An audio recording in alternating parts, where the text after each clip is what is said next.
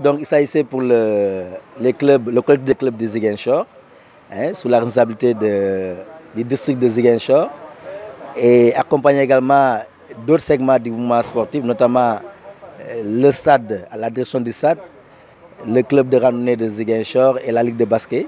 Il s'agit donc de participer à l'élan de solidarité dans la lutte contre le coronavirus.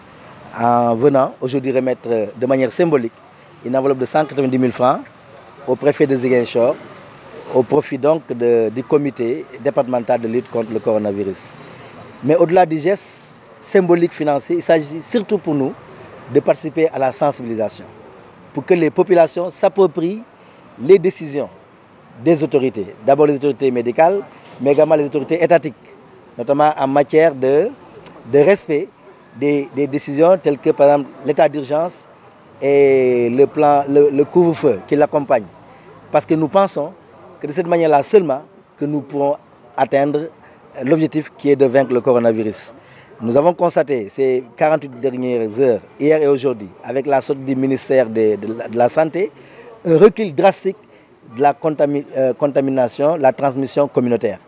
Et nous pensons que c'est à encourager. Et ce qui va le consolider, consolider cet état, de fait, c'est justement que les, personnes, la communauté, observent et respectent les, décisions, notamment en matière de, rester à la maison, ne sortir que pour des besoins essentiels et véritablement se, garder de, se rassembler, se garder également de, de, faire en sorte que le virus puisse avoir une porte d'entrée.